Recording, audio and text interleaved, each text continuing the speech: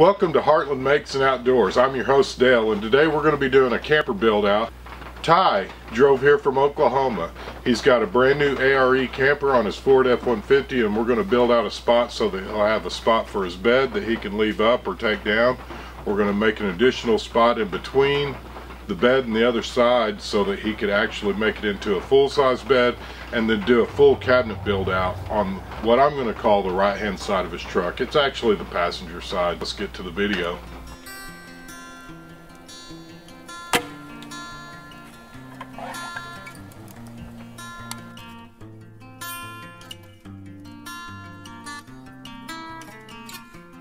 Again, thanks for tuning in to Heartland Makes and Outdoors. In this video, we're going to be going real quickly through this build out. When Ty got here, he had already started the build out at home. At some point, the camper had a leak. It, it had the plywood that he had started originally using had gotten wet. Some of it had gotten moldy. We're going to be trying to salvage as much as that plywood as we can from the original build that he started so that it's not just a big waste of money. So in the initial part of this video, you can see we're unloading this truck. So in the initial part of this video, you can see that we're unloading his truck. He did have a box, like I said, that was originally designed to be part of the bed frame, if you will. So we're going to disassemble that. We're going to cut it down shorter. We're going to lower the bed down quite a bit. Yeah, the actual height of the bed is going to be roughly nine and a half inches and that's going to give us enough room to clear the wheel well on the truck bed and then you're still we're going to cut cubby holes out on the inner part of the frame so that you could still get to the back side of that wheel well for storage for miscellaneous stuff that you may not need all the time but you'd still have a good place to store that stuff that you don't need every time you're camping but it is nice to have in the vehicle maybe like the tire repair kits, a jack, that kind of stuff. We'll put it in the back on the opposite side of the bed and it'll be there if he needs it and if he doesn't need it, it's stowed out of the way. So initially, again, we're starting out, we tore the bed frame apart. We're gonna be cutting it down to size, like I say, it's nine and a half inches tall. The overall width of the bed is gonna be 25 and a half inches. The mattress that he has is just like the one that we used it's a trifold memory foam mattress. I'll put a link in the description down below where you can get that on Amazon. It's a comfortable mattress. Me and Buster have slept on it numerous nights. That's what we got in our little utility trailer that we've been camping out of last year after the move. After we get the bedside framed out, we're going to move over to the other side of the truck, which I'm going to call the right hand side, the passenger side of the truck. And that's going to be level with the camper shell frame that's bolted to the top of the bed. That way it extends that shelf instead of it being 11 and a half inches, it's closer to 13 and a half to 14 inches, depending on where you're at inside looking at the base of the shelf at the camper. So it opens it up and makes it a little bit bigger, bigger storage area. Now on the right hand side, we're going to be cutting this lumber down. Again, it has a lot of rough cuts that had to be cut down because he couldn't haul a full eight foot sheet here. So he cut the pieces at six foot three roughly, which is roughly the measurement that we're going to be using. So that way when you shut the tailgate, everything still fits inside and there's a little bit of a gap and a little bit of a space.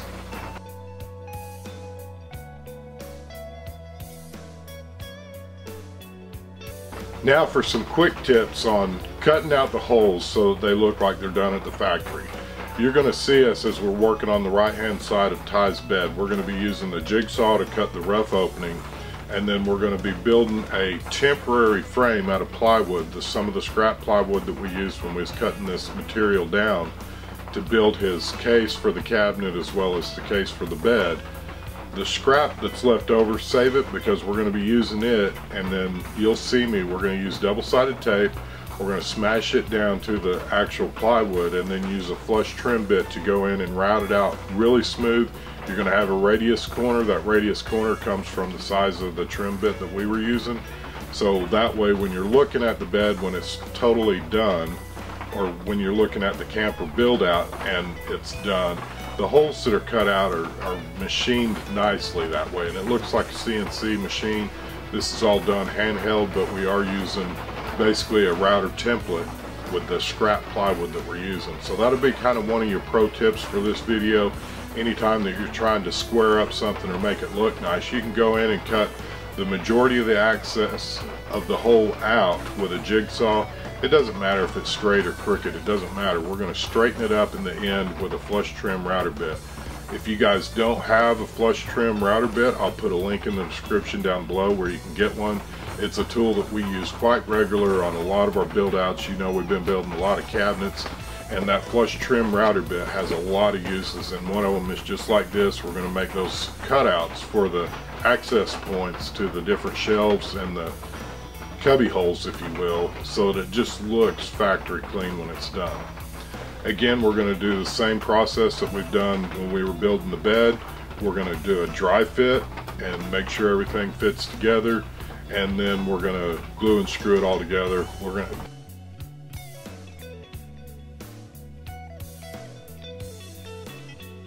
and we're working on framing out the passenger side cabinet. This cabinet is built in basically two stages. You've got the centerpiece that we're going to be working on individually. That's going to go over the wheel well. We're going to have a floor in it, which is basically that same nine and a half inch height to clear the wheel well. And that way you don't have stuff falling down in that hole that you're not really going to have access to. Ty wanted a nice flat shelf there. That way he could store his buddy heater it's a good place to store clothes. You could put almost a week's worth of clothes between five pair of jeans and t-shirts and socks and whatnot in there and not even have to carry a bag with clothes in it. And then with it being inside the camper it's going to stay dry. So there's a lot of added use use to the different cubby holes that we're making for storage. There'll be room for um, there'll be room for all of his cooking stuff we did put an additional drawer on the bedside. That drawer, I purposely made it to where it will come all the way out.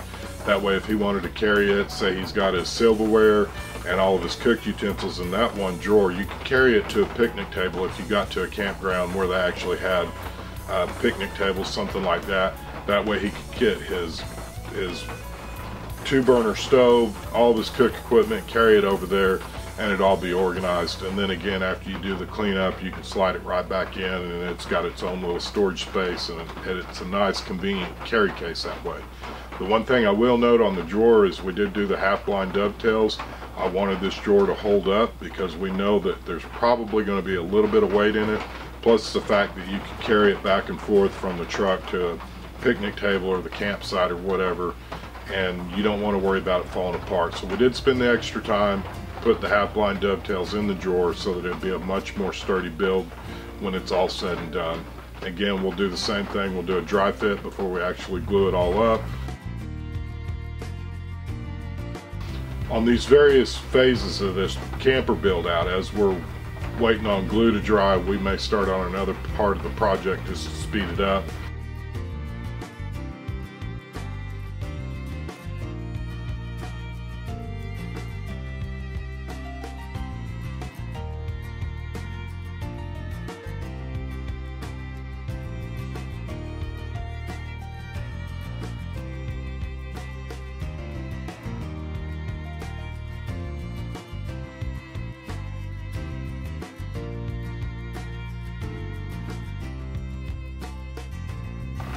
Prior to Ty and I retiring together, he had wanted a jacket. So this trout that's going to be on the door, the drawer, so this trout that's on the drawer is the same trout patch that we made for his jacket. We made him several patches. He's got, I think, one on each arm and then one across the back. And on the back of it, it's trout. Because Ty really enjoys the fly fishing and trout fishing. And that's one of his biggest passions in life is just the, the trout fishing of the outdoors.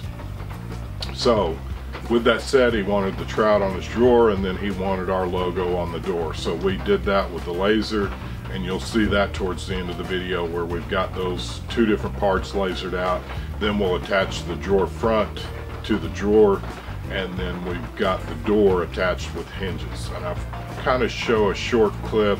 We did use the piano hinges on this build out uh, for the door and then the drawer is actually just like an old-timey drawer was built way before hardware is we've got hardwood runners in there so that the drawer will slide in and out nice and easy and then we've also got the hardwood sides so that when you're pulling the drawer in and out it doesn't get cockeyed It just makes it much easier to pull the drawer in and out. Now again, his plywood was already pre-cut, a lot of it, so on the bed side, which would be the driver's side, or what I'm calling the left side in this video, you're gonna notice there's a little bit of a hole. So what I did there is we made that drawer bigger, way bigger than the drawer opening, to cover that up. That way if he wants to put a fire extinguisher or something right there handy towards the tailgate, he has that access hole right there and it'll be easy to get to. Again, that part of the build out was already pre-cut before we started, so it doesn't go all the way to the bed like the right hand side does when we custom build that side of the cabinet here. So we did take a little bit of time measuring out everything and uh, again on the right hand side it's built in three phases. We built the part over the wheel well, then the two ends and then you'll see again same little tip on cutting out the hole, the access door for the hole where the door is going to be on the right hand side. We put a frame on that and then router it out with the flush trim bit. Again guys, that flush trim bit is a lifesaver when you're doing stuff like this and it just, it really cleans up your work and makes it look so much more professional when you're done than jagged edges because you, not only are you getting a nice smooth squared up opening this way, the edges are cut just, I mean, finished smooth right off the router bit. You don't have to sand it or anything else. Now, again, on edges of plywood, I would go ahead and I would recommend doing the seal coat before you stain it. That's another thing that I do want to note in this video. Ty has already got the staining stuff purchased. He wants to take his camper build out back home and he's going to finish the stain himself. He's going to stain the bed frame and the cabinet, which is on the right hand side. And then I believe at the time we were making this video, in the back of his mind, he's probably going to do like the bed liner type paint job on the actual bed top as well as that middle bed top which will make that bed almost a full-size bed because he can put two of those 25 and a half inch mattresses on there as well so him and his wife can camp in there much easier.